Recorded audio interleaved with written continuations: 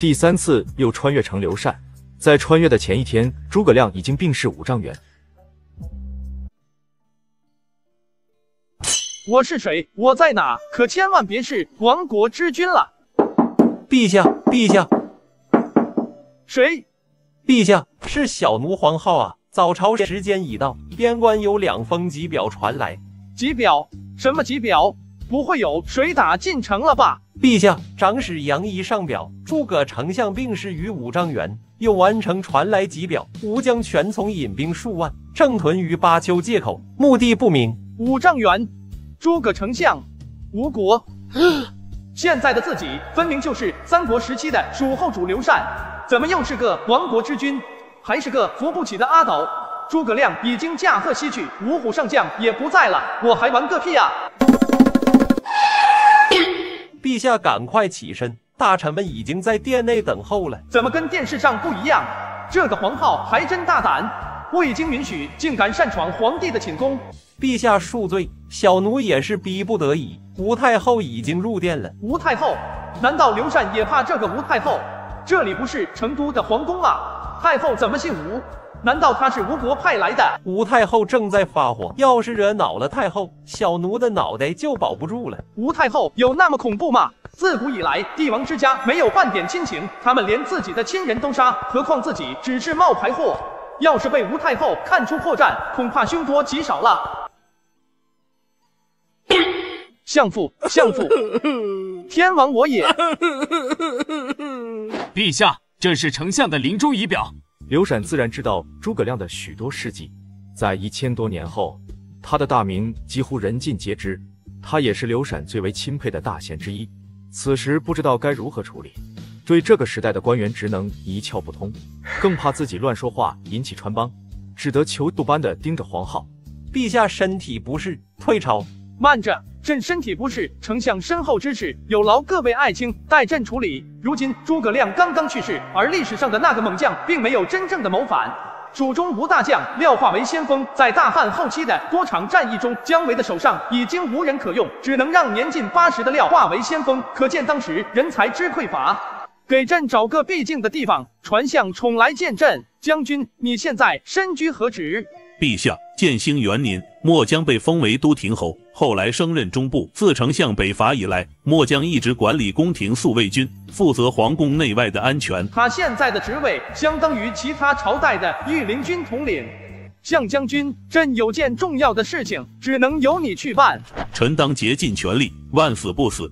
将军事关重大，不能出半点差错。陛下，即是如此。若能发到圣旨，末将定保万无一失。刘禅心头一阵窃喜，急忙唤来黄浩写好圣旨。他钦点了几名最得力的护卫，迅速骑上快马离开皇宫。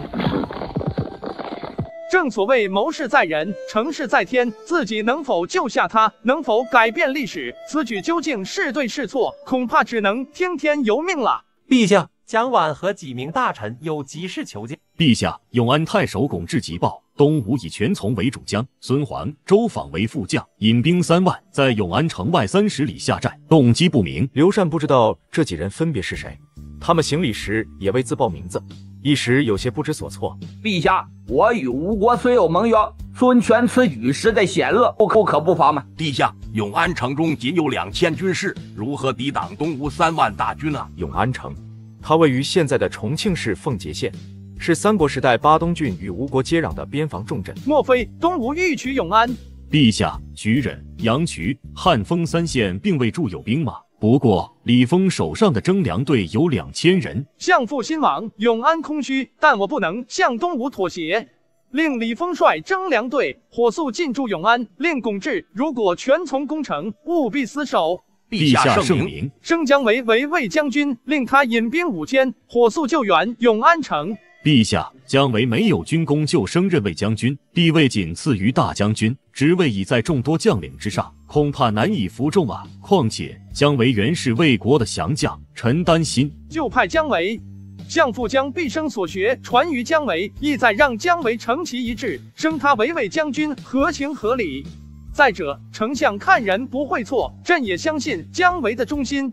就这样吧，家父，当今天下。已成鼎足之势，吴魏两国又不曾入寇，相父何不安享太平？臣受先帝托孤之重，当竭力讨贼。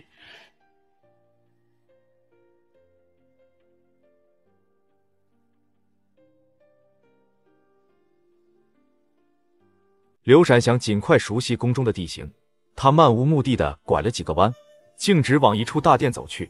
陛下，前面是披香殿，是要见张贵人吗？要不要小奴去通传一声？啊，昨夜的嫔妃是何人？陛下，昨夜正是张贵人。这个张贵人是何来历？陛下整日操劳，想必不记得了。张贵人乃是前西乡侯居济将军张飞之女，名叫张兴义。她侍奉陛下已有六载。琴棋书画样样精通，好，就去披香殿。臣妾见过陛下。刘禅没见过真正的张飞，只能忆起影视剧中张飞的模样。他实在难以想象，传说中五大三粗的猛将张飞，竟然有此温婉秀丽的女儿。以后不必行此大礼。谢陛下。朕跟张贵人聊聊，你们都别过来。这是相父临终时的手书。这份仪表类似于文言文。刘禅清楚的记得，并无标点符号，他实在想不通，不知张贵人是如何准的断句。爱妃，你既是三叔的女儿，以你之见，朝中之臣，我应该相信谁？自古以来，后宫不得干政，陛下该信任谁？丞相早有言明。早有言明。刘禅有些疑惑，又想起上学时曾背诵过的《出师表》，其中某些章节仍然记忆犹新。报陛下，征西将军魏延。有急表上奏，果然来了。传众臣崇德殿议事。征西将军南郑侯陈魏延，诚惶诚恐，顿首上言：杨仪自总兵权，率众造反，结丞相灵柩，欲引敌人入境。臣先稍决栈道，以兵守御。仅此奏闻。就在众臣议论纷纷时，又有杨仪的奏表传来。他却在奏表中说魏延谋反，杨仪和魏延都称对方造反。这下殿上可热闹了。众臣一致认为魏延在诬陷杨仪，好几个大臣甚至以全家性命为杨仪作保。历史总是惊人的相似，却又有所不同。魏延身为蜀国上将，战场上取得人头无数，自然不愿被杨仪呼来唤去，于是抢先一步退入汉中。他想到杨仪经常在丞相面前搬弄是非，使得自己不受丞相的重用，心头顿时气愤不已。魏延突然心生一计，命人烧掉部分栈道。阻止杨仪的兵马及时撤回汉中，同时抢先向成都上表乌齐谋反，此计定能光明正大的除掉杨仪。杨仪与魏延本就不睦，他得知魏延不听自己的指挥，并且阻断自己的归路，于是大发雷霆，向随行兵将称魏延谋反，同时也向成都上表称魏延谋反。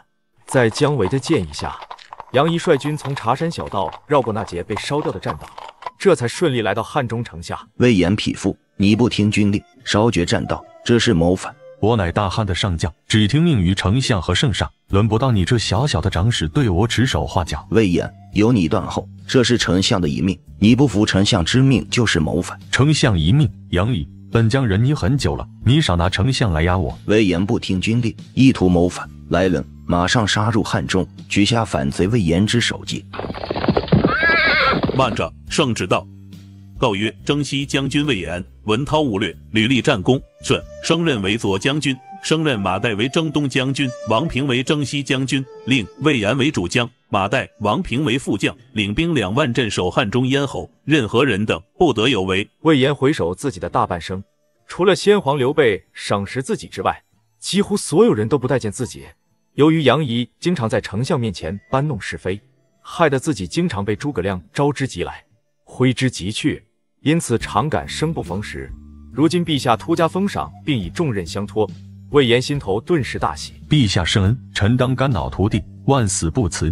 不可能！魏延不听军令，烧绝栈道，阻我归路，此乃谋反，理应处死。何故升任？江宠，你身为中部都，为何假传圣旨？这是陛下的旨意。杨长史若是不信，可与众将查看圣旨之真伪。小将军，陛下圣旨何时所发？昨日辰时所发。这就对了。按行程来看，魏延反叛的奏表五时才能送到宫中。小将军，陛下让你过来时，是否知道魏延反叛的消息？陛下未曾明言。我杨毅身为丞相府长史，丞相临终将蜀中大事尽皆托付于我，绝不能让这魏延继续猖狂。给我杀！就算战至一兵一卒，务必诛杀魏延反贼。大胆杨仪，你敢抗旨乎？教在外，君命有所不受。抗旨者，喝！啊！圣旨到，奉义将军姜维接旨，告曰：奉义将军姜维升任为将军之职，令姜维为主将，高翔、吴班为副将，引兵五千，火速救援永安城，即刻出发，不得有误。肯姜维接旨，许焉。我反对。姜维何德何能？为何升任为将军？杨长史，末将只是奉命宣旨，你若有疑问，可回蜀中面见圣上。啊！霍金。霍金，魏将军，可知汉中之重要否？汉中乃是连接成都平原和关中平原的战略要地，进可取凉州、关中之地，退则是益州的门户。向将军，请代我转告陛下，臣愿以全家性命作保，汉中绝不会有失。陛下还想问魏将军，如何力保汉中不失？汉中有包斜道、倘洛道、子午道、陈仓道四条路线可通往关中，万无一失。陛下信我魏延，并拨马。王二将及两万兵士相助，就算魏军长了翅膀，他们也休想攻取汉中。后魏将军，陛下托我转告你，如果你能保汉中三年不失，可封骠骑大将军之职。谢主隆恩。刘禅前脚刚册封姜维为魏将军，命其领兵前去支援永安城，后脚便传来急表，姜维并未前去驰援，引得朝堂忧心忡忡。杨仪更是心中不满，大骂刘禅昏君。触怒朝堂，被投入大牢。刚才探马报来的消息，至少已是昨日发生的事情。这个时代的通信实在不便，根本没法及时了解前线发生的一切。这是怎么回事？陛下，这是宫中太医令，想必是永宁殿有人生病，小奴这就前去打问。不必，随朕去看看。星彩，你这是怎么了？哪里不舒服？陛下，臣妾这不是什么大病。他们偏偏要传太医令，这才惊动了陛下。皇后老是呕吐，她吃什么就吐什么，又不肯传太医令，奴婢不敢懈怠，这才斗胆请医官过来。做得好，赏钱两千铢。陛下圣恩，奴婢拜谢。陛下，皇后是久吃生冷之物，以致脾胃寒凉，只需日服两次生硫磺，缓缓加大剂量，觉得胃部微温即止，不出一月即可痊愈。医官，你没搞错吧？硫磺也能做药？这能吃吗？下官愿以全家性命担保，此方必定有效，绝不会伤到皇后的凤体。这年代竟然有硫磺！医官，你们既然能找到硫磺，能找到硝石吗？硫磺和硝石都是《神农本草经》中的必备药材，宫中医馆自然不敢遗漏。そうですね。你把医馆里所有的硫磺和硝石全部给朕送来。这硫磺和硝石可以入药，但需对症才行，绝不可乱服。朕明白。 记得自己上高中的时候，化学老师曾提过一硫二硝三木炭的配方。刘禅按配方口诀，将几种物品混在一起，小心的研磨混合均匀，然后把混合好的黑色粉末均匀的撒在一块麻布上，带着火星的干木条慢慢的靠近麻布，直到完全触到这些粉末，仍没有发生想象中的剧烈燃烧，只有星星点点的小火星，以及断断续续的噼啪声。难道化学老师说错了？哈哈哈！原来一硫二硝三木炭只是老师为了方便学生记忆自己归纳的配平这个方程式的方法。这里的一二三只是不同药品的分子份数。刘闪顾不上吃饭，紧接着又重新配好一份药品，希望这次能成功吧。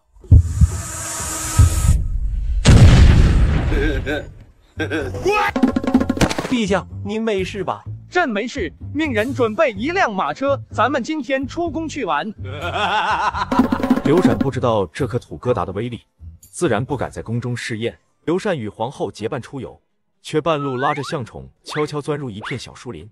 向宠按照指示，在地上掏出一个小坑，小心的将一个罐子埋入坑中，点燃引线后拔腿就跑。哎呀，快走，快走！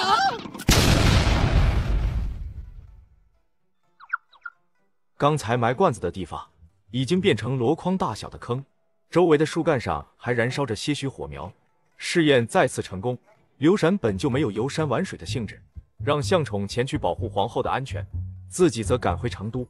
刚才的土疙瘩，他仍然需要点燃引线，还不能用在战场上。刘禅的最终目的是做一种稍小的投石车，能将其抛至五百米以外。投石车很简单，关键是这个土疙瘩本身，它绝不能用简单的瓷罐子，必须用金属外壳。不知道这个时代的冶金工艺如何？黄浩，你去找几名铸铁工匠，仿照这个瓷罐的模样，制作几个厚薄不同的铁罐。陛下，永安城有捷报！蒋琬和费祎激动地跑入殿中，声音颤抖着喊道：“永安太守龚至上奏，将军姜维智取巴东，解永安之围，获粮饷无数，斩敌一万余，俘吴将全从。”姜维所言是否属实？陛下，殿外有龚至送来一万多敌兵左耳，理应不假。昨夜有探马来报，传姜维沿江而下，难道？传令令邓芝、张仪、廖化火速进驻永安，然后听从姜维调遣。他让龚志带传捷报，就是在试探朕的意思。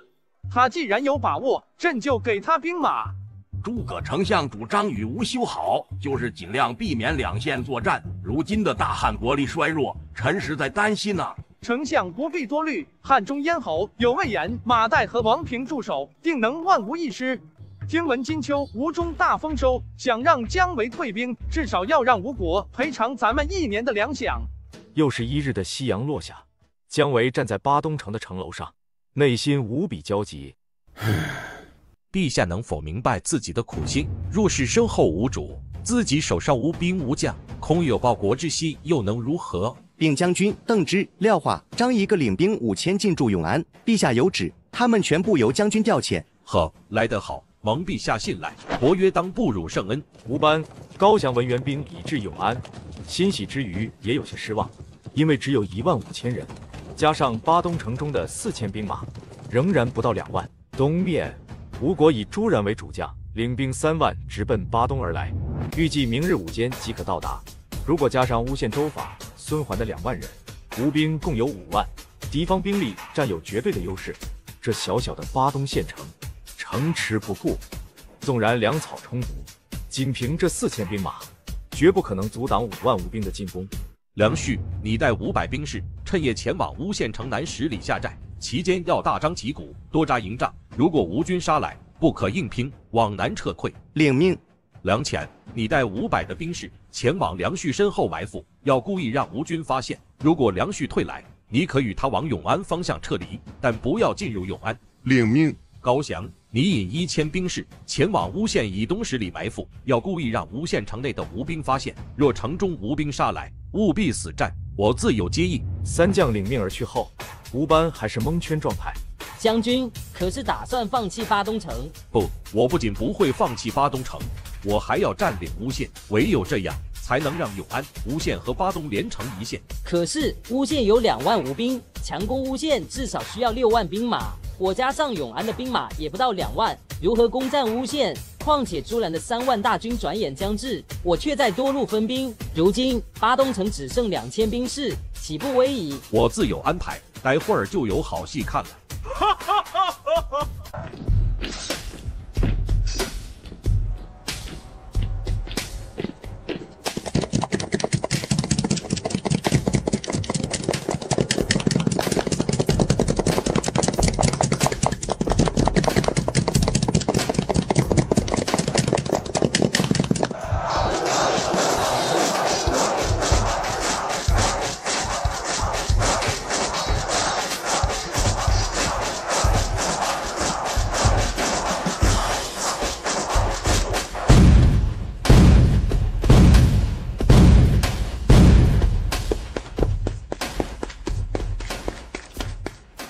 将军，蜀将吴班领三千兵马向东门杀来，高翔领兵三千攻我北门，廖化领兵三千攻我西门，另有张仪领兵四千在北门列阵。有没有看到姜维？谁能告诉我姜维到底有多少兵马？撤！全军从南门出城，撤往建设，快！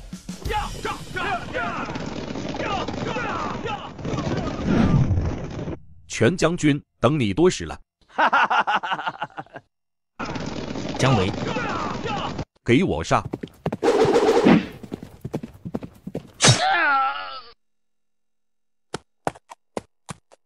快速打扫战场，收集物资，回防巴东。如今手上有三万多兵马，在建平郡也站稳了脚跟。梁将军，你有没感觉到陛下似乎与以前不大一样？我本是带五千兵马来解永安之围，却自作主张攻打吴国的巴东城。陛下不仅没有怪罪，还先后两次派来援兵，并让多个将领听我调遣。这段时间，姜维感到刘禅见路的雄心和远大抱负。经过深思熟虑之后，还是有必要回成都一趟。陛下，魏将军姜维刚回成都，有要事上奏。嗯，请他过来吧。末将拜见陛下。魏将军，快快请起。这番永安之行，你可是居功至伟啊！末将不敢贪图军功，这全靠陛下的信任。运筹帷幄，还有将士们的浴血厮杀。姜维几经犹豫，说了自己的二分天下的想法。嗯，继续说。在末将看来，二分天下之策可分三步完成：其一，以一员强将坐镇汉中，使曹魏不敢轻易来犯；其二，牢牢地控制住荆州，因为这是一条重要的通道，北可拒曹魏，东可拒吴国，如此一来，蜀中自然太平；其三，也是最重要的一环，就是不停地袭扰吴国，削弱其国力，在适当的时候，以重兵一举攻克吴国南部四郡，如此一来，荆南四郡甚至整个荆州便垂手可得。只要走好这三步，荆州易得，吴国的灭亡只是时间问题。姜维的计策很是大胆，也有可行之处。然而，在我知道的历史中，历朝历代的北伐几乎都以失败告终。姜将军，我大汉为了广积粮草，正在精兵简政。目前国内只剩十余万精兵，其中两万驻守汉中，朕最多只能给你八万兵马。在我大汉没有足够的实力之时，最近一到两年，只需以少许的兵马，在建平、宜都两郡适当骚扰。其间或战或不战，不再以一城一地的得失，以消耗吴国的兵力和国力为主。这姜维有大才啊，还是战略级的国之栋梁，朝中重臣已无人可比。姜将军此次解救永安之危，勇夺三城，得好好的赏赐你一番。今升任你为大将军，掌全国兵马，至万户，假黄钺。谢陛下。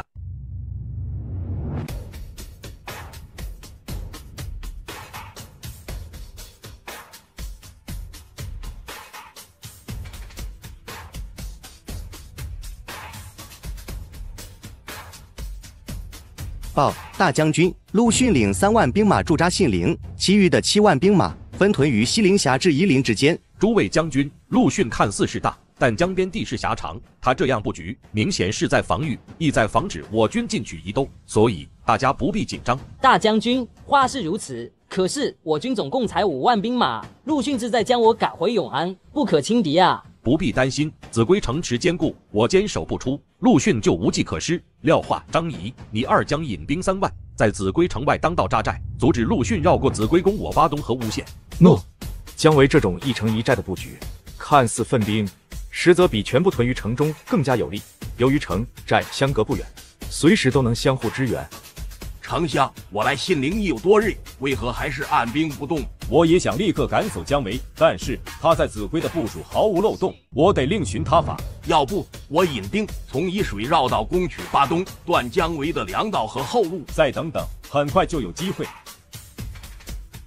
大将军，探马来报，魏国出兵大举南下，陆逊已经兵退夷陵，孙韶引兵十万以至晋陵，再继续向江陵进发。吴国的意图很明显，就是集中陆逊、孙韶的十万兵马保住江陵，并将蛮宠赶出南郡。大将军，这正是我东晋之良机，不可错失啊！大将军，对吴国来说，秭归、巴东、信陵诸城可有可无，无法与江陵相比。我正好可以抢占宜都。对众将来说，此次绝对是大好良机，不论攻魏还是伐吴，皆对己方有利。于是纷纷请战。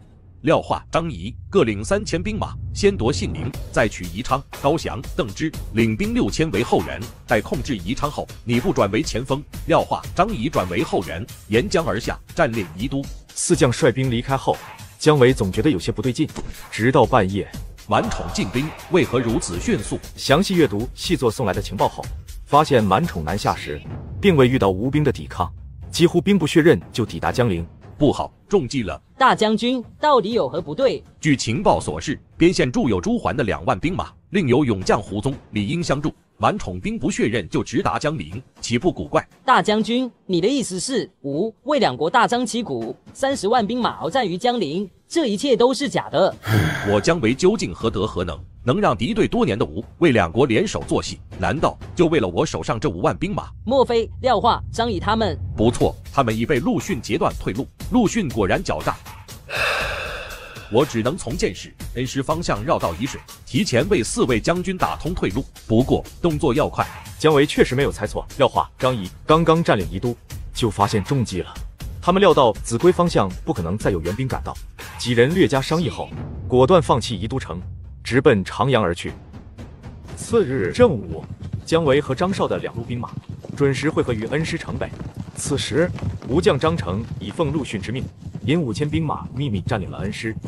全军休整一刻钟，一刻钟后全军攻城。大将军，你不是常说攻城为下吗？何不绕过恩施，直接往沂水进军？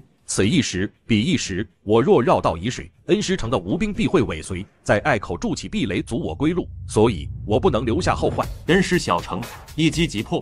大将军不宜多做拖延，下令吧。吴班、张绍、傅谦各领三千兵马，分别攻打东西南门。本将自引三千兵马攻北门。梁旭、梁乾引兵一万，四门略阵，随时支援各门。我必须一鼓作气，一击攻取恩施。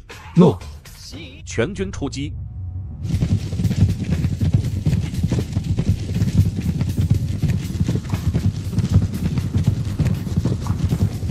自古以来，攻城皆是不得已而为之。此次蜀军共计投入两万多人，以伤亡三千余人的代价，在一个时辰内攻下恩施城。姜维留下粮钱和两千精兵在恩施，负责救治伤者，并招降城中吴兵，自己引着剩余的一万多兵马，沿着沂水北岸的小道，迅速往长阳方向而去。全军列阵，准备迎敌。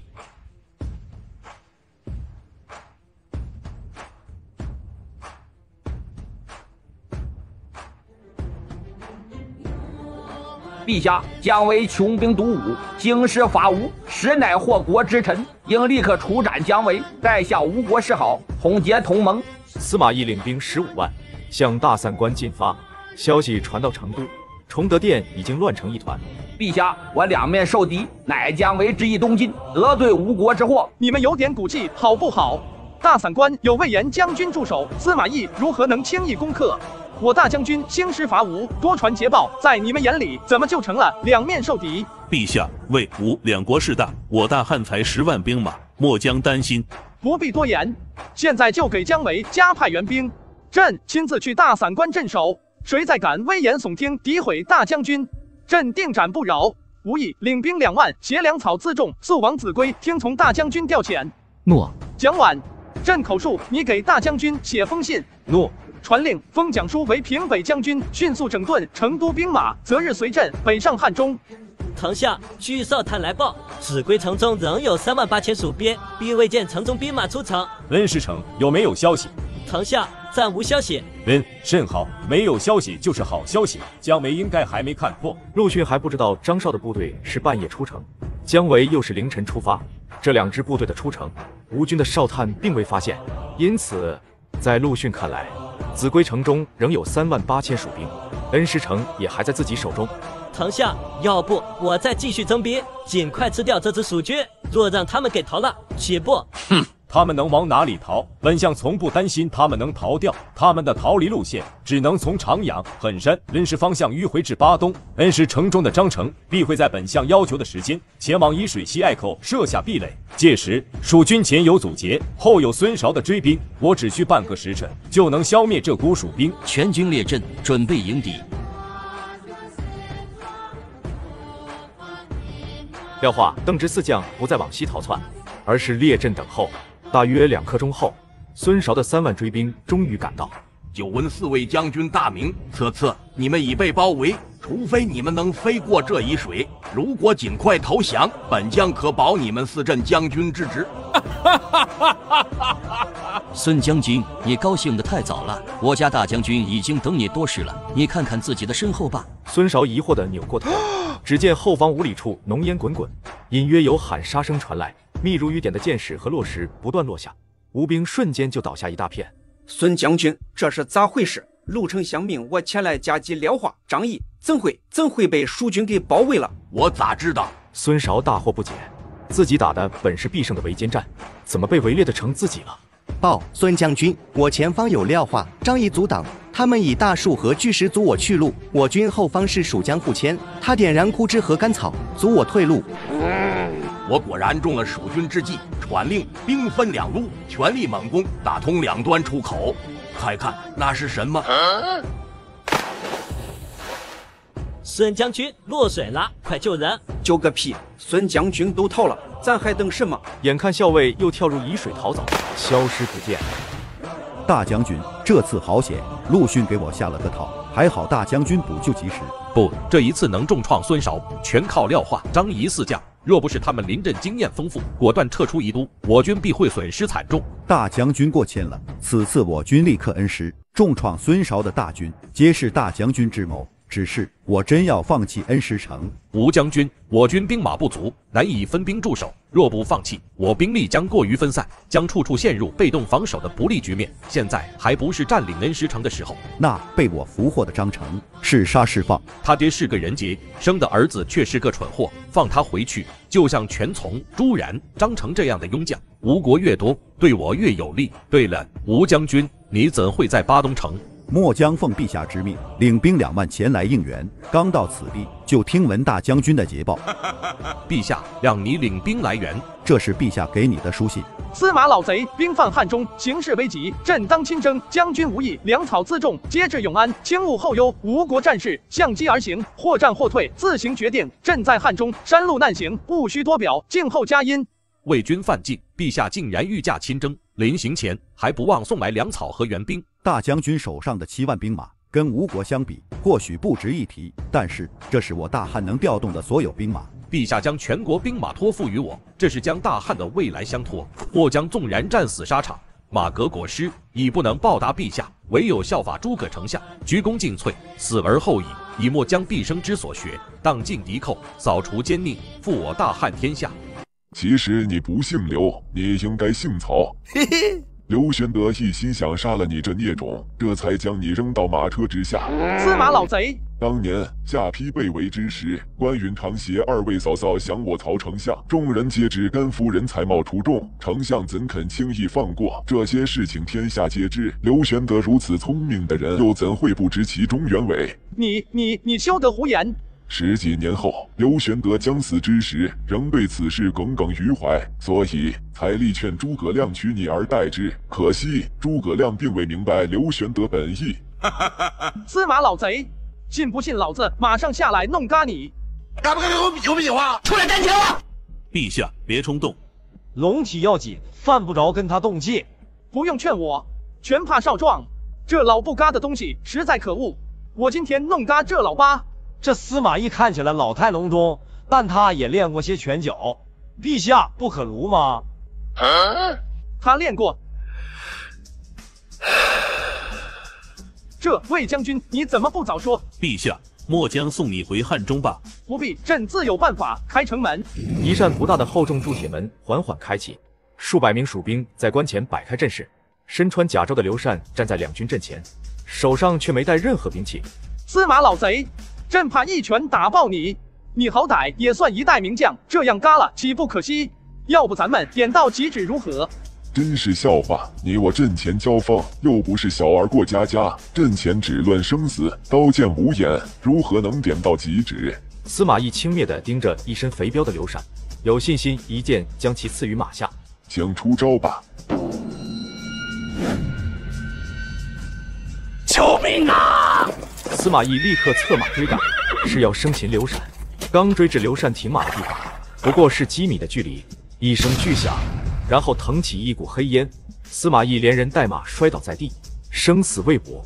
都督、魏军将领等人见势不妙，急忙策马上前，将满身是血的司马懿拖回己方阵中。哼，敢跟老子单挑，不炸飞你，算你命大！陛下若能炸死司马懿，数年之内我大汉无忧矣。哼，这个老东西自己找死！朕提议点到即止，他却不肯。像这种要求，我这辈子没见过。去几个人把刚才司马懿的战马抬回来，今晚加餐。陛下用的什么兵器？好像是炸雷吧？不对，陛下用的应该是仙法。天了，马肚子上这么多窟窿，这几个窟窿呲呲冒泡，太夸张了。陛下到底用的什么兵器？若咱们都能用这种兵器，一年就能杀到长安。陛下，卫兵已退去，短期内绝对不会再来。你如何得知？莫非司马懿嘎了？卫兵今日一反常态的攻城，司马懿必是受了重伤，他担心就此退去会被我追赶掩杀，这才攻城以示强，借机退却。但愿如此吧。有朝一日，我大汉兵强马壮之时，必将魏军赶至潼关以西。届时，朕与诸位将军一同在这辽阔的草原上纵横驰骋，何等畅快！几日后，魏军确实没有再来。刘禅准备回成都，临走前，他还想看一看军中伤员。对了，魏将军，平时你们都是如何处理伤口？陛下，箭伤一般就是挑出箭头，止血、清洗、包扎。在这大散关可有伤兵？有，还有二百多个。带朕去看。诺。营帐内。刘禅查看众多伤兵的伤口后，简直触目惊心。几乎所有士卒的伤口都有红肿现象，明显是细菌感染所致。另外十几名士卒的伤口已有溃烂，还有几人正在发着高烧。魏将军，你令士卒去山坡上折几捆柳枝回来，越多越好。诺，你们几个快去。柳枝取回后，命人将它砸破、削短，放入釜中慢熬半个时辰，然后将釜中之水放冷澄清，用它给士卒清洗伤口。陛下，难道柳枝是草药？朕只是猜的，姑且一试。若能减轻红肿，可命人大量使用。陛下，效果极好，一百多个士卒的伤口红肿情况明显消退。不过，另有十几人使用后没有半点效果。哎，现在只能这样了。朕会遍访名医，尽快找到有效的治伤良药。陛下辛苦，末将代全军士卒谢陛下隆恩。魏将军请起，我明日就回成都了。汉中还需拜托将军镇守，如有魏军消息，及时上奏于朕。陛下，听闻此归一线战事颇紧，末将愿往秭归为陛下破吴。魏将军，如今的大汉全国上下只有十万兵马。若是汉中有失，我无法两线作战，所以末将身为左将军，岂可在汉中安闲度日？五年内，我大汉必会出襄阳、大散关两线伐魏，届时大散关的西路大军就由魏将军全权指挥。陛下，此言当真？魏将军，只要汉中不失，慢则五年，快则三年，甚至更短。陛下放心，当年末将为先帝镇守汉中。十年不失，今末将就算拼上性命，也要护住汉中。好，朕等的就是这句话。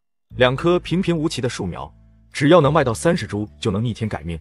看似不可思议的事情，这个少女却信以为真，整整坚持了一年，日复一日的蹲在这条偏僻的小道上卖起了树苗。小妹妹，这树苗怎么卖？十五株一棵。少女的声音极小，悄悄的抬头看了看刘禅，又赶紧低下头。十五株刚好是一壶米的价格，这树苗遍地都有，再怎么也不值十五株，怎么会有人买？二十九株卖我两颗行不行？不行。刘禅越发好奇，于是找向宠借了三十枚猪钱。好吧，我买了。少女接过猪钱，欣喜的往不远处的一座茅屋跑去。爷爷，爷爷，诸葛军师真没说错，真的卖出去了，真的是三十株。诸葛军师，刘禅确认自己没有听错。好奇的往茅屋走去，小乙，你真的卖出去了？诸葛军师真神人也。老丈，你口中的诸葛军师可是诸葛亮？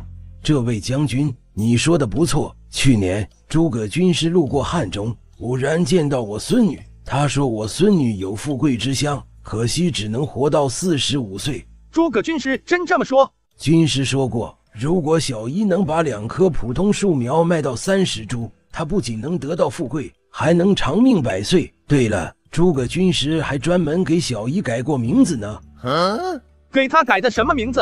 我孙女本名叫李香怡，给改成了李昭仪。听了老者的话，刘禅更加觉得不可思议。从西汉元帝时起，昭仪是仅次于皇后的嫔妃封号，位同丞相，绝比王侯。你真的叫李昭仪？按照诸葛亮的预言，他把树苗卖到三十株就可以富贵并长命百岁。也就是说，如果让他成为真正的昭仪，是否大汉也不会灭亡？现在的李昭仪正好十六岁。历史上，刘禅在公元二六三年投降邓艾，距离现在二九年。那一年，李昭仪刚好四十五岁。刘禅突然意识到，诸葛亮给李昭仪逆天改命，不仅仅是他个人的命运，还是整个大汉的命运。爷爷，不好，快救人！刚刚还精气十足的老头，突然倒在地上，看样子已经油尽灯枯，李昭仪眼看就要失去唯一的亲人。爷爷，爷爷，将军，我这一去，将军，你是好人，请帮我照顾昭仪。临终之托，刘禅自然不会拒绝，表示同意后，李老汉缓缓闭上了眼睛。次日，几名兵卒将李老汉下葬。李昭仪在守孝期间，必须保证他的安全，每月给他送二百铢钱，四壶稻米。陛下，李昭仪身为女子，不能为其守孝，只有嫡子嫡孙才可以。既然这样，那就将他送到成都。乐，小妹妹，你就不问咱们去哪里吗？将军，你答应过爷爷要照顾我，从此以后你去哪我就去哪。我带你去成都，好不好？怕，你就不怕我是坏人吗？你是大汉的将军，怎会是坏人？如果我不是将军，只是个小卒或是个普通百姓，你还愿意跟着我吗？我相信诸葛丞相的话，这是我的命，我只是个弱女子，没得选择。对我来说，富贵或贫贱都不重要，只要你不打我，能有布衣蔽身，能有每日饱饭，我就知足。你别担心，我从来不打女人，以后你就是我的昭仪。我希望你能长命百岁，也希望大汉之基业万古长存。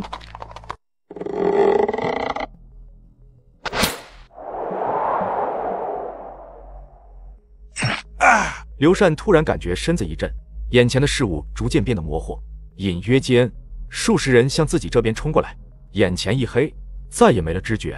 有刺客，快保护陛下！刘禅缓缓睁开眼睛，发现自己正躺在一个昏暗的山洞内，想要起身，却感觉背部剧痛不止，每一次呼吸都要牵动背部的伤口。陛下，你终于醒了！昨日的袭击者是魏国潜入汉中的细作，已经被宿卫兵歼灭了。这里是何地？此地距离剑阁还有四十里，因陛下剑伤不轻，末将只能寻到此处山洞，暂供陛下休息。末将已派人前往汉中，张将军很快就能带兵前来。李李昭仪呢？李昭仪为陛下采药不慎跌下山崖，宿卫兵已经绕到崖底寻找，只是，只是什么？快说！陛下，我等在崖底只找到李昭仪身上的一块碎布，快去找！所有人全都去找！刘禅用力过猛。背上一阵钻心的疼痛传来，两眼一黑，又昏了过去。昏迷中，刘禅又做了个梦，梦见自己向魏国投降，也梦到李昭仪拔剑自刎。你没有因为朕的投降而拔剑自刎，却为了给朕采药跌至崖下，生死未卜，真是孽缘啊！连诸葛亮也无法改变，全力搜索，尽量寻回李昭仪。乐向宠命人扩大了搜索范围，连续几日仍旧一无所获。事已至此。刘禅不得不放弃了搜寻，与几名宿卫兵骑着战马，一路往成都而去。陛下，陛下，陛下，什么事？吴国丞相布置已经来到成都，这会儿正在管一党后召见。布置是谁？陛下，布置是孙权的近臣。吴国丞相孙绍逝世后，雇佣代孙绍做了几年的丞相。孙权称帝迁都建业之后，分别任命布置、陆逊为左右丞相。嗯，他来做什么？有没有透露？具体情况微臣不知，只是卜志说他带着孙权的亲笔信要亲手交给陛下。如今我与吴国仍在交兵，势如水火。布置来此，必与两国的战事有关。那微臣这就传他来见。不，如果吴国占据优势，孙权的使臣不会急着求见。你给布置带句话，就说朕已经歇息，若是有事，明日上朝再议。哦，此时。布置急得像热锅上的蚂蚁，这可如何是好？朱桓引兵两万，辗转数百里，悄悄绕过巴东，进入瞿塘峡。本以为陆逊能迅速击败姜维，没想到战事会如此焦灼。朱桓现有的粮草恐怕支持不了多久，唯有两国能罢兵言和，才能救出朱桓和两万武兵。不丞相。当初我诸葛丞相刚刚过世，贵国就迫不及待的背弃盟约，以重兵攻我永安，这岂是同盟之道？陛下，这期间其实有误会。误会？全从引兵三万来攻我，死伤三千多人，在你口中这就是简单的误会二字？陛下，这确实是误会。当时贵国丞相刚刚去世，我家陛下担心魏国趁虚而入攻打贵国，这才以大军屯于巴丘借口，准备随时支援汉中。原全从会错陛下之意攻打永安，给贵国造成一定的损失，我家陛下也很生气。目前全从已被革职并投入大牢，请陛下明察。不丞相，你撒谎还不脸红，朕实在佩服。孙权真舍得将这个女婿投入大牢。陛下，外臣惶恐。罢了，朕不想管孙权的家事。说吧，你此次来使，所谓何事？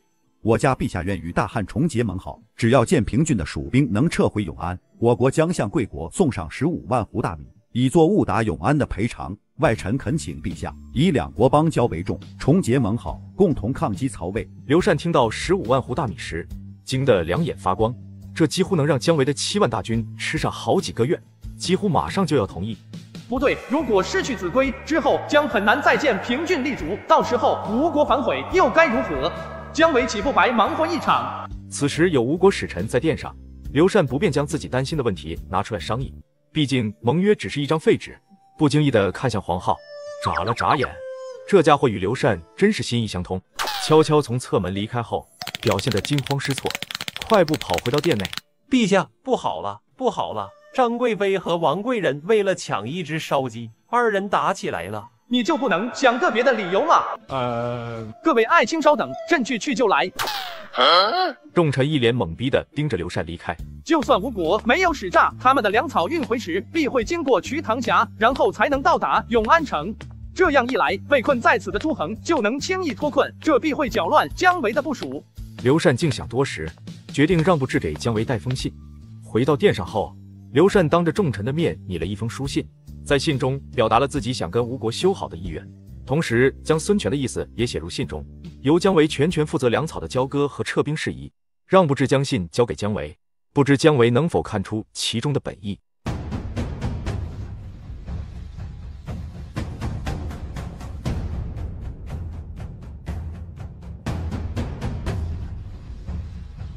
数千具吴兵的尸体横七竖八的倒在地上，他们是企图突围。被吴懿的部队射杀的，不只知道被围的朱桓处境艰难，却不知已经到了此等惨烈的地步。既然孙权有意讲和，那么粮草何在？将军，我来的时候，粮草已在益阳和睢县，想必现在已经到了夷陵，不日就能送到这里。既然如此，那就劳烦步丞相去催一催。将军，你也知道粮草运转艰难，尚需几日才能到达。可是将军能否先撤去瞿塘峡外的蜀兵？不行，陛下命我全权处理此事。如果粮草未到，我怎敢轻易撤军？若有闪失，就算本将有十个脑袋，这也不够砍。可是将军，废话少说，我不是那种耍嘴皮子的说客。一日不见粮草，本将一日不会撤兵。如果陆逊不服，尽管让他来战。哼！不丞相，姜维这人性子直，朝中重臣都不敢惹怒他，就连陛下也对他也有所忌惮。现在时间紧迫，我看你还是赶紧去催一催才好。可是不兄啊，你就别再可是了。你来的时候也看到了，朱桓的部队粮草将尽，不能再等了。要是惹怒了姜维，他肯定会大开杀戒，到时候恐怕……哎，既然如此，那我就去催一催吧。宗兄，我去之后，你得尽量帮我劝劝姜维才是。去吧，去吧，赶紧。姜维和宗玉并未排练过，却默契的一人唱红脸，一人唱黑脸。不知经不住两人的双簧，无奈之下，只得往信陵方向赶去。陛下既然赞同自己的二分天下之策，必然知道秭归城的重要性。陛下应该不会为了十五万斛大米的蝇头小利，就将如此重要的城池拱手送人。姜维几经思量后，他做出决定，却与刘禅的想法不谋而合。既要想办法得到这批粮草，又不能放弃秭归城。朱桓啊，朱桓！既然粮草的事情因你而起，也将因你而终。本将希望你们能坚持到粮草送达的那一天。丞相，这批粮草数目巨大，尚需三到四日才能送到信陵。若要送到秭归城下，需要的时间会更多，恐怕朱将军等不了那么久啊！哼！刘禅破格升任姜维为大将军，并且重用魏延，这些足以看出其雄心壮志。魏国企图进犯汉中时，刘禅也不曾让姜维退兵北上，甚至为了让姜维安心。不惜御驾亲征，说明刘禅已经不是那个扶不起的阿斗。他真会同意结盟吗？不，丞相，你错了。这批粮草确实是真的，陛下的手书也是真的。不过，我与姜维罢兵讲和之事却是假的。陆丞相，你的意思是？哼，我从未想过真正的罢兵言和，我已做好跟姜维打持久战的准备。这十五万斛粮草确实会运来，不过它不是交换和平的筹码，而是我这十万大军的军饷。陆丞相，这这是为何？不，丞相，陛下之所以写那封手书让你为使，这些都是本相的建议。本相的目的很简单，假意讲和，积习木龟。击其木归，不错。当年高祖采用韩信之计，假意与项羽讲和，趁着项羽回师时击其木归，一战定乾坤。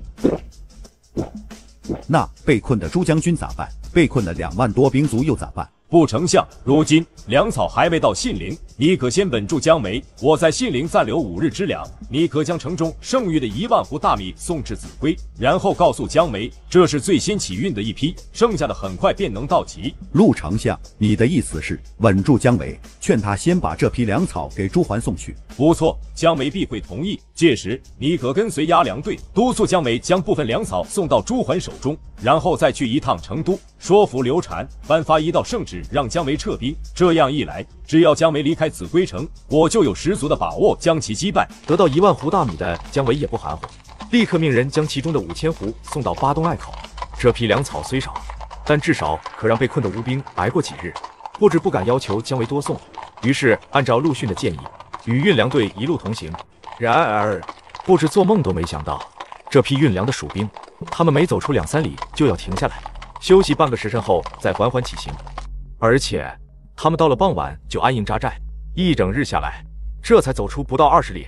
我身为吴国左丞相，如今跟着蜀兵的押粮队一路西行，连个屁都不是，根本没人买我的账。第二日又是如此，运粮的蜀兵磨磨蹭蹭地走出二十里，很快又到了傍晚。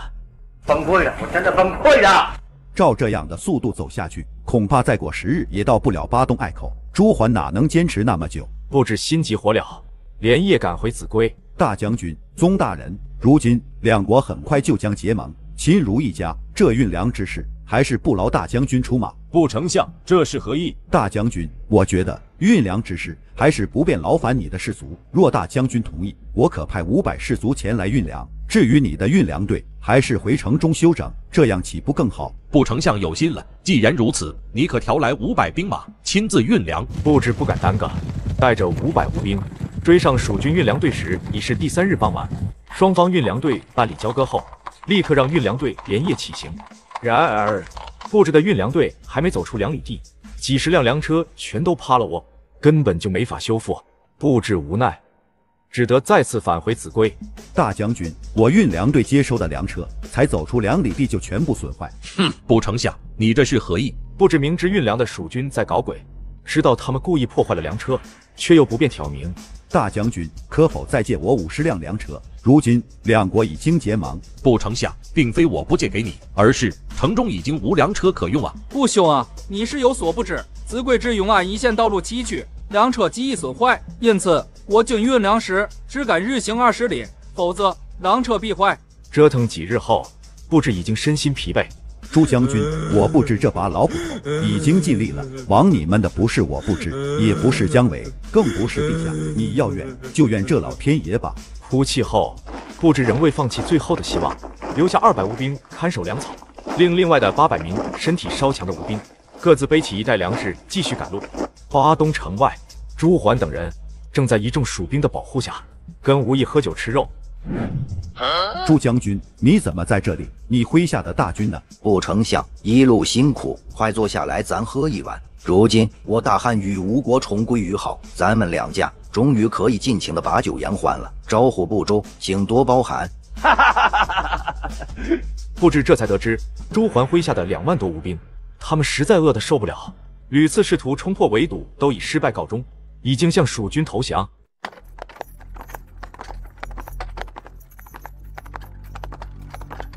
姜维看着吴国送来的十五万斛粮草，还有前几日收编的两万多吴兵，现在是要人有人要粮有粮，撤兵这辈子都不可能撤兵。这秭归城个个都是人才，说话又好听，就算陛下圣旨来了，最终解释权都归我姜伯约所有。圣旨到，大将军姜维接旨，告曰：今天下三分，为强而汉无弱，联吴抗曹，方为上策。今汉吴两国盟约已立，往日恩怨皆已消弭，将军姜维即刻撤回。子规、巴东诬陷不得驻军，交还吴国，不得有误。臣姜维接旨，许言。姜维，如今你想要的圣旨已到，你还有什么话说？立刻撤兵，滚回永安去吧！只要你一离开秭归，我的十万大军就是用脚踩也能踩死你！你休想活着回到永安城！陆丞相，我在吴县并无兵将驻守，你现在就可以领兵前往，恕本将不便相送。姜维，你这是何意？你家陛下的圣旨写得非常明白，难道你敢抗旨？不成想，此言差矣。我姜维蒙陛下恩典，定当忠于陛下，尽心报效。如今陛下命我驻守秭归、巴东二城，将吴县交给吴国，我身为臣子，岂敢违令不遵？不成想，你看圣旨写得非常明白，即刻撤回秭归、巴东，吴县不得驻军，交还吴国，不得有误。你姜维，你这分明是狡辩，你这是抗旨。我，我，你不是欺负老实人吗？陆丞相，你家不丞相身子太弱，遇事爱钻牛角尖。待他转醒之后，还请多加开导。刚才的圣旨，陆逊也听得清清楚楚。奈何这个时代没有标点符号，每个人都可以凭自己的主观意愿去断句，字虽未变，意思却大不相同。姜维正是钻了这个空子。姜维，你给本相听着，青山不改，绿水长流。这笔账我陆逊记下了，早晚会跟你算清楚。陆丞相，如今我大汉与吴国已经缔结盟好，千万不可因为个人恩怨而坏了两国之间的邦交啊！姜维仗着子规城坚固的城防，毫不畏惧。现在城中粮草极为充足，根本没把陆逊那八万大军放在眼里。不许哭，你听见没有？刘玄，不许打人！你是大男孩，怎能欺负小妹妹呢？父皇，她不是我妹妹，刘姨才是我妹妹。胡说，比你小的都是妹妹，快给她道歉！父皇，她真不是我妹妹，她姓姜呢。姓姜？难道她是姜维的女儿？不论她姓姜还是姓刘，或是其他姓氏，你都不能欺负人家，知道吗？她只是臣子的女儿，我是皇子，是将来的太子，以后要当皇帝，我怎么能给她道歉？这些是谁教你的？张皇后和几位贵人听到了风声，很快全都赶了过来。他们见刘禅脸色不好，只是小心的围在旁边，大气也不敢出。你今天必须道歉，否则朕打到你道歉为止。陛下，万万不可！姜维，你何时回来的？陛下，不可乱了纲常。什么纲常？当年鲁肃与孙权可踏上对饮，抵足而眠，咱们就握个手，怎么就乱了纲常？不，陛下，皇子就是皇子，哪有皇子跟下臣的子女道歉的道理？大将军，此言差矣。孟子曰：“民为贵，社稷次之，君为轻。”在他们眼里，大将军的女儿只是臣女，或者只是普通百姓。若是这样，刘玄就更应该道歉。刘玄，赶紧跟江霞道歉。对不起，我会重新做一个赔给你。赶紧去做，今天必须给江霞送去。精彩，你让那些嫔妃全都带着孩子去宣誓殿等我。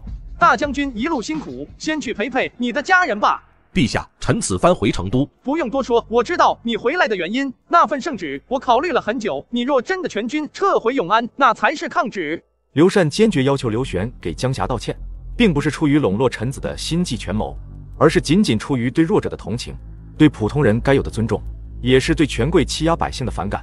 高祖皇帝正是有了张良、陈平、韩信等良将的辅佐，才一统天下。先帝也是有了诸葛丞相、庞统、法正、五虎上将和众多臣子的辅助，这才开创了大汉现在的基业。大将军姜维文韬武略，与吴国数十万大军周旋，短短两个月时间就斩敌数万，这才让吴国不能威胁成都。如果你们在外舍身征战，自己的女儿却被别人欺负，你们将作何感想？没错，你们是皇子，是公主，江霞她只是臣女。但你们要明白，水能载舟，亦能覆舟。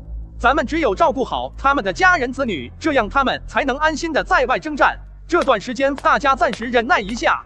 膳食的数量是少了，但分量还是挺足的，每个人都能吃饱。我跟你们吃的完全一样，大家都别再抱怨。爱子的事是谁教的？陛下，臣妾自从生了玄儿之后，再也未获宠幸。皇后虽然暂无子嗣，但臣妾与皇后亲如姐妹。臣妾从没想过觊觎过太子之位，哪敢这样教玄儿啊？不过太子向来都由长子继任，立刘玄为太子，这并无不妥。刘禅自穿越以来，还未想过要立太子。此时隐隐觉得，这个皇宫里并非自己想象中的那么祥和。这个皇后并不简单，他唯唯诺诺的背后，或许藏着巨大的野心。恐怕历史并未记错，黄浩终有一日会祸乱朝纲，必会成为大汉亡国的最大隐患，自己必须时刻提防。姜维和陆逊在相隔不远的秭归、信陵对峙已有数月，因此吴国决定在沂水大兴土木，意在效仿魏国的合肥新城，在此建一座军事要塞，阻断姜维绕道恩施、长阳进取宜都的通道，确保陆逊部队后方的安全。廖化和邓芝建议立刻出兵，趁他还未建成时将其摧毁。姜维综合考虑后，也表示赞同。不过，姜维的想法是以袭扰为主，促使吴国劳民伤财，赶工期，等到吴国消耗到最后，再一举击溃。立刻砍倒大树，安营扎寨，将这几棵树砍倒，将地面整平。关将军，我才五千兵马，我一旦发起进攻，吴军必会杀上山，我如何能挡？此地山势险峻，易守难攻，我携了一月之粮，有何担心？关将军，话是如此。只是我刚到军中，大将军就令我来此的袭扰吴军，这恐怕刘将军不要妄加猜测，本将相信大将军绝不是那种人，此事不得再提。诺，在罗宪看来，姜维令关索引兵来此，明显是把关索和五千蜀军当成了诱饵。蜀军扎好营寨，整平空地后，五架投石车组装完毕，关索立刻命人将其架起。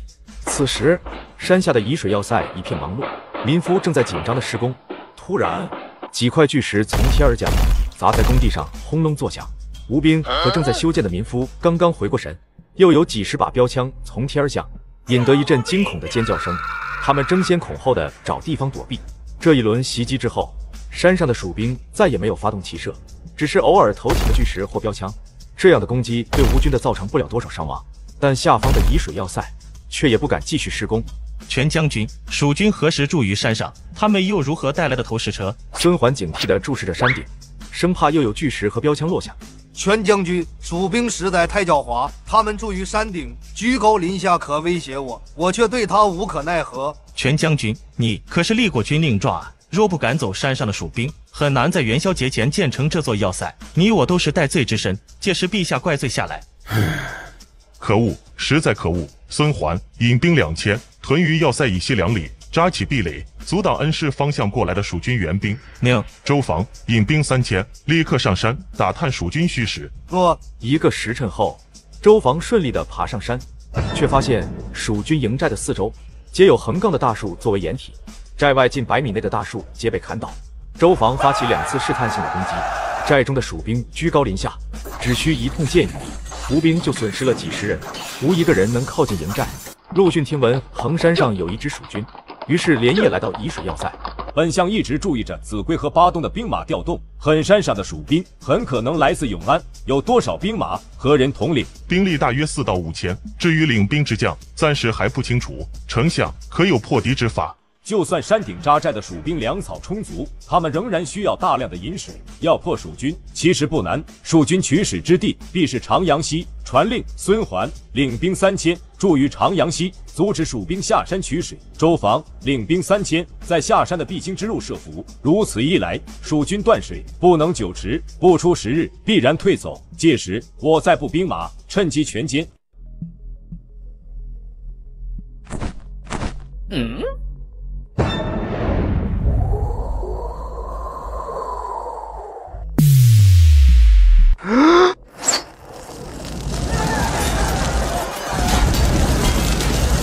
真不该听信陆逊之言。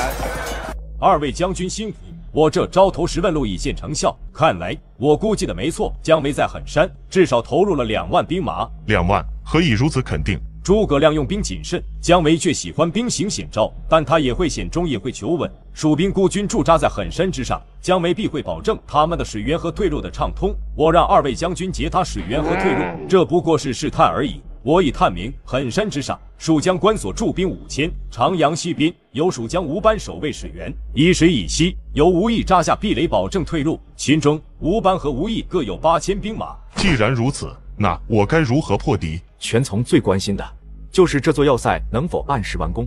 将军勿急，其实我早就料到姜维会来。吴班和吴懿领兵到达后，我已暗中令陈表引兵一万驻守恩施，另有吕毅的一万兵马屯于恩施以东的沂水隘口。我已截断蜀军的退路，丞相，这样部署确实包围了两万多蜀兵，但他们的粮草至少能坚持半月，我坐等他们粮尽也不是办法。这座城塞的工期不可拖得太久。将军勿急，就算拖个二十天，这座要塞也能如期完工。况且要吃掉这里的蜀军，我只需十五日就够。可是不用可是，据细作回报，目前蜀军一共才十一万兵马，其中汉中部署四万，姜维手上只有七万人。只要我能歼灭这股蜀军，姜维必定元气大伤。届时我再取巴东，就易如反掌。秭归城也将孤木难支。姜维再狡诈又能如何？我会向陛下上表讲明情况，延误工期之事，全将军就放宽心吧。陛下定然不会怪罪。这样最好。只是姜维诡诈，万一有什么变故，咱很难向陛下交代了。哼，这一水狭长，不适合大军展开。我只要堵住两端隘口，蜀兵插翅也难飞。况且我已令张成、诸葛瑾领兵两万来援，这会儿他们已到宜都，明日午间就能到达此地。我就不信了，我六万兵马难道困不死两万蜀兵？关索，吴义将军在沂水一线已经成功拖住吴军六万兵马，我可展开下一步的部署。大将军，我军能调动的兵马不足，如何能解关将军和吴将军之围？大将军，若要解沂水之围，我要么攻克恩施，再攻克吴军的壁垒，这需要数万兵马。以我现在的兵力，恐怕几位将军勿急，我自有破恩师之法。我不仅要破恩师，我还要将吴军围死在沂水。大将军，你没开玩笑吧？要围吴军于沂水，必须破沂水以西的恩师，还要破沂水以东的长阳城。纵然我能破恩师，又如何破长阳？廖化、张仪，你二将连夜赶往巴东城，领城中的一万八千兵马屯于恩师城北五里处，摆出攻城的架势，然后依计而行。二人接过姜维的锦囊。半信半疑的往巴东城而去。丞相，如今信陵和恩师都有蜀兵在城下挑衅，我该如何应对？不必紧张，姜维并不会全力攻城，就算他攻城，我城中兵马亦能轻易守住。姜维明知攻不下这二城，却故意引兵到此，此间定有古怪，我不可不防啊！哼，若说姜维有诡计，他不过是假意攻城，逼我撤走包围狠山的兵马。这不过简单的是围魏救赵之计。只要信陵和恩师的守将死守四门，姜维绝不可能攻下这两座城池。待我围歼退守狠山的蜀兵之后，姜维只能乖乖的退回秭归。沂水西面，吕毅的兵马仍旧封死蜀兵西去的退路。长阳西边，诸葛瑾和张成的兵马紧贴着西口下寨。沂水东面，全从。孙桓和周访牢牢地扼住蜀兵东退的路线，在陆逊看来，衡山上的两万多蜀兵已成瓮中之鳖，姜维就算再诡诈，也无法救出衡山上的蜀兵。当夜，秭归城中似有大批兵马出城，朱桓不敢大意，急忙遣快马将这一消息告诉陆逊。丞相，姜维此举究竟有何用意？这不过是姜维的瞒天过海之计，他已经用过一次，本相岂会轻易上当？姜维打着火把往东而去，故意吸引我少探的注意。他暗中可能有两种安排：其一，他是在掩护一支兵马往西，趁夜隐藏在信陵周边；其二，他却有可能率大军东去，试图集中兵力攻我丁氏。明日即知分晓。信陵城外的蜀兵营寨若已撤走，姜维必伏义军在信陵周边，我绝不能大意，必须严守信陵城。若蜀军仍在信陵城下辱骂叫战，则表明秭归城的蜀军已经东去。姜维这是在向我示强，以掩饰秭归城的空虚。因此，我可让朱桓领一万兵马坚守信陵，再令李应率营中兵马拖住寨中的蜀兵，再由胡宗领义军出信陵，直取秭归。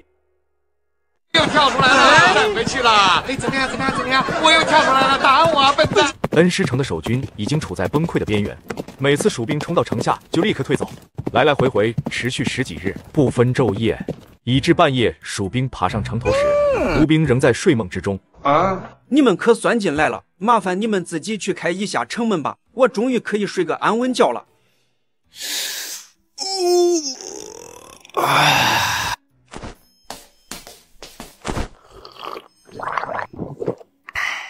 卯时已过，为何还没有信陵的消息？本相说过，信陵的军情每个时辰要报告一次，怎能忘记？禀丞相，银时的情报也没送来，末将已经派人前去打问，暂时还未收到消息。嗯？打问个屁！为何不早些叫醒我？你你你误大事矣！丞相何故生气？何故生气？我大军已被蜀兵包围了，长阳很可能已经丢了。立刻引兵两万，随本相夺回长阳，即刻出发。这是被姜维射杀的第四个吴国信使。陆逊没有猜错，姜维确实攻占了长阳。在姜维的二分天下之计里，前期对吴国的作战中，他不会计较一城一地的得失，而是尽可能的消耗吴国的战力和国力。后退两里，沿小道扎寨。丞相，不攻蜀军壁垒，如何能取长阳？纵然姜维取了长阳，暂时断我回义都之路和粮道，但他毕竟是绕我三座城池轻装而来，他的粮草无法获得补充，几日内必溃。丞相的意思是，我在此地扎寨，与信陵、宜昌、宜都三城配合，已经围姜维于长阳。只要我西路的潘俊、陈彪死守恩师，再有吕夷守住西线的壁垒，我粮草就能获得补充。只需几日，被围的两路蜀军将不攻自溃。然而陆逊还不知道恩师也已经丢了，连信使都过不来了。丞相，吕将军收到恩师的求救，询问是否引兵去援，迅速去援，这还用问？可是吕将军说，求救者手执陈表的兵符，这不符合军中的规矩。吕将军担心有诈，所以前来询问。丞相，蜀军已占了长阳，恩师是我唯一的粮道，不可有失啊！吕将军的担心确实有道理。以神北岸，通道狭窄，处处都是易守难攻的险地，处处皆可设伏。丞相，我已经没有选择。若是蜀军破了恩师，我将再无退路。如果出兵及时，就算蜀军占了恩师，我还能退回抢占外围的隘口。若这些隘口落入蜀军之手，我再无退路啊！嗯，不错，速给吕一传信，令他立刻救援恩师。若恩师被蜀军攻克，迅速抢占东线隘口。No。次日正午，吕一引兵离开自己壁垒，马不停蹄地西去救援。眼看还有几里就可抵达恩师，前方突然被巨石和大树拦住去路，还没来得及下达撤退的命令，四周已经惨叫连连，难以计数的吴兵倒在石头或剑林之下。吕一意识到前后皆被蜀兵堵死，眼看突围无望，吕一急令兵卒跳水逃生。那么现在双方在沂水一线的兵马部署，看起来就很有趣了。陆逊和诸葛瑾围住了衡山之上的蜀军，但在沂水的两端，蜀军又围住了陆逊和诸葛瑾的大军。这是为何？造几条木筏很难吗？吴军连攻两日，仍然没能打通两端的通道。陆逊已经意识到情况不妙，赶紧命人砍树造筏。然而两天时间已过，一共才造出三十来个木筏，只够三百人从沂水撤走。陆逊如何能不生气？丞相，兵分末将偷懒，我被蜀军困在这里。南边是湍急的沂水，北面又是悬崖峭壁，无法找到更多的大树啊！丞相，若想造出更多的木筏，就需要更多的大树，唯有狠山才有足够的树木。不过要上狠山，只有沿长阳溪而上，这里却有吴班，无意在此驻守。你把这封信给大将军送去，自然会有足够的木头。长阳溪下，诸葛瑾在此扎寨已有好几日，他阻断了衡山上的蜀军与恩师的粮道。不错，正合我意。大将军，可是陆丞相已有破敌之法？没有，我虽被蜀军围在此地，但我亦围住了两万多蜀军。根据时间来看，山上的蜀军粮草已断，纵然我要退走，也得咬掉姜维身上一块肉。蜀军居高临下，弱肉攻寨，恐伤亡惨重啊！若不攻破此寨，我就无法获得足够的木头造筏。我粮尽之时，伤亡会更大。大将军，小心！就在诸葛瑾刚才站立的地方，一块巨石狠狠地砸在地上。屯兵山上的关索部队退到吴懿和吴班身后的半坡上，重新将五架投石车架设起来，刚好可以攻击诸葛瑾的营寨。丞相，我粮草已断，每日都有士卒偷跑到蜀军阵前投降，我扎的木筏也被偷走十几个，这样下去不是办法。哼，撑死胆大的，饿死胆小的。丞相，我是不是？失军之路，担君之忧。我若撤走，麾下的士卒必向蜀。尽量再坚持几日吧。丞相，我已断粮，如何坚守？何不早做决断？告诉那些兵卒，就说援兵已在攻打长阳，旦夕急迫。这样一来，或许能多挨几日。士卒们关心的不是援兵能否到来，而是自己的肚子。或许真有援兵呢？我被围在此地，朱桓一定会知道。或许他会引兵来援。只要长阳一破，我就有反败为胜的机会。但愿吧。朱将军，邓芝、高翔二将引兵两万，刚刚回到秭归城。什么？回到秭归？朱将军何故生气？我大吴的兵将面对蜀军时，难道都吓破了胆？这几日子规城中只有两千蜀兵，只有两千。我在信陵有三万大军，我却一直无动于衷。朱将军，这不是陆丞相之令吗？哼，陆丞相，陆丞相遇上姜维，他已经失去了应有的判断，他早被姜维吓破了胆。如今陆丞相被围在沂水，我是不是该引兵去取长阳？放屁！我这点兵马如何能取长阳？就算我取了长阳，蜀军若趁机攻占信陵，这将得不偿失。朱将军，那我应该立刻给陛下上表，奏明情况，请求援兵。诺。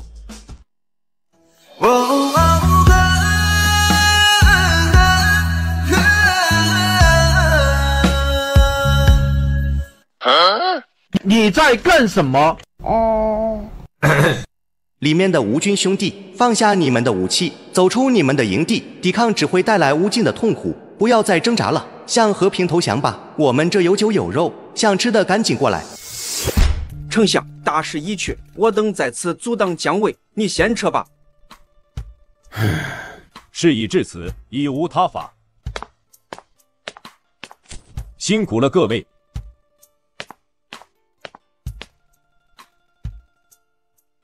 弟兄们，我听说蜀军那边会优待战俘，把甲胄脱下，咱们直接投了吧。我都两天没吃饭了。大将军，这次的降卒太多，恐怕先给他们发点粮食，讲清蜀中的现状和鼓励农耕的政策。愿意编入我军的可以留下，愿意到蜀中安家的也欢迎。这个时代的兵卒很少有国家观念，很多人当兵只是为了吃饱饭，军中也有很大一部分是奴隶或者发配充军。大将军，真的要撤军吗？长阳城深入无尽，我若屯兵驻守，只能从恩施、以水方向绕道运粮，其间多有不便。南边的武陵还在吴国手中，我很难长期据守。这次重创吴军，战略目标已经完成。若我攻占宜都后，就算此地不驻军，吴军也不敢来。关将军，你放心，此地距离襄阳尚远，本将向你保证，他日我取襄阳，你必能第一个登上襄阳的城头。多谢大将军。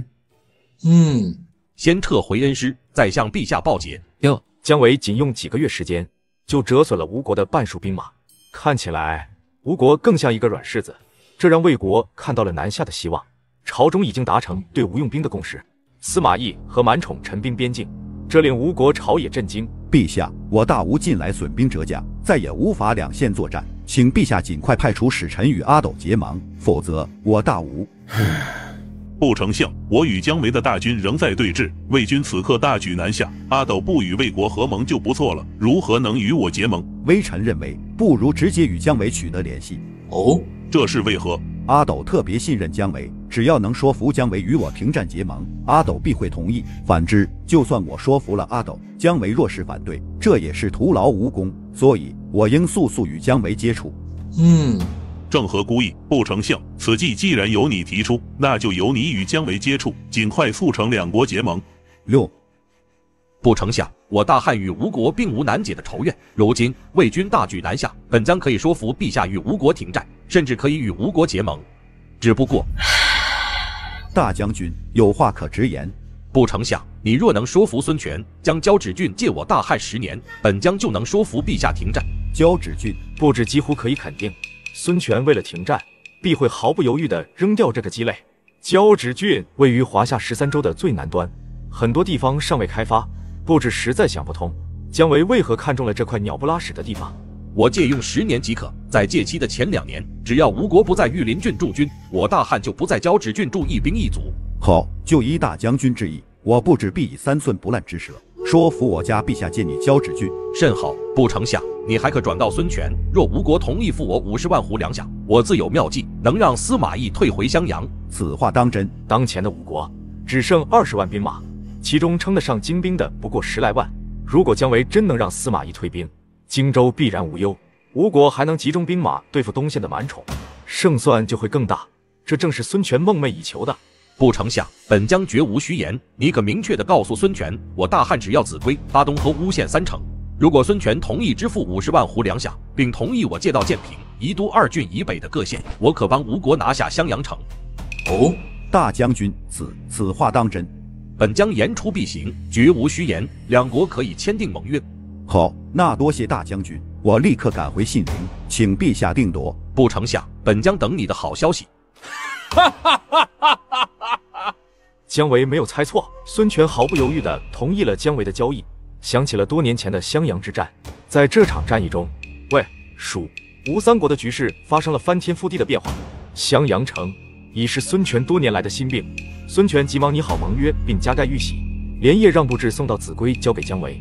为了表示诚意，当即就派快马信使前往交趾，让当地郡守准备好办理交割手续。